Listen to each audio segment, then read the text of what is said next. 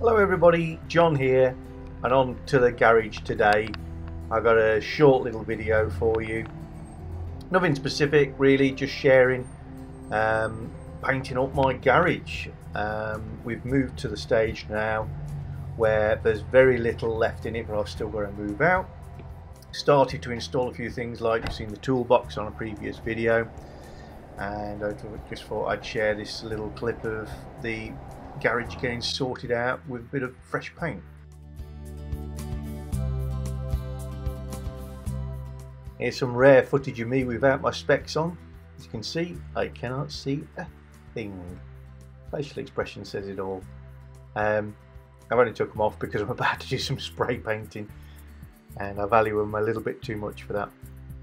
Um, whilst I'm wandering around trying to find a really good place to stick the camera, um, the walls that are already painted, I must have painted maybe ooh, three years ago. And I did them with a paintbrush.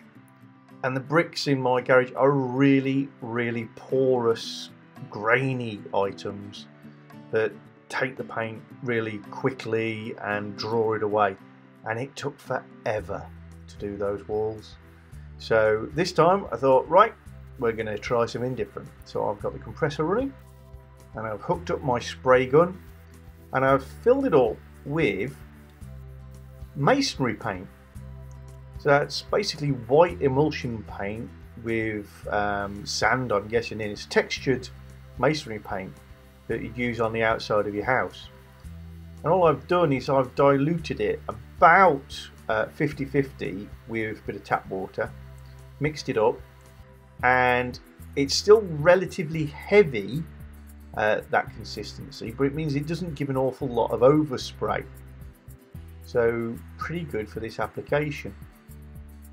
It doesn't cover particularly well. You can see the contrast between the wall I painted with a brush years ago and what I've just done. But it's going on reasonably quickly and it's going on reasonably accurately. What I found is that you needed about three coats to get a reasonable coverage. The end result is not as complete after three coats as the hand brush stuff, but I managed to do it in the space of real time about 45 minutes and um, that more than compensates and I don't need it to be perfect, I just need it to be a nice bright white environment so I can see what I'm doing a little bit better. So this might be worth a try for a few of you at home if you want to whiten up your garage.